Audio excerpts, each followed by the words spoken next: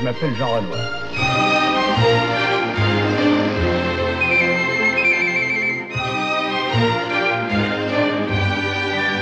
Parce que tu sais, la nuit, on creuse un trou Un trou pour quoi faire pour nous évader. C'est donc une révolte Non, si. C'est une révolution.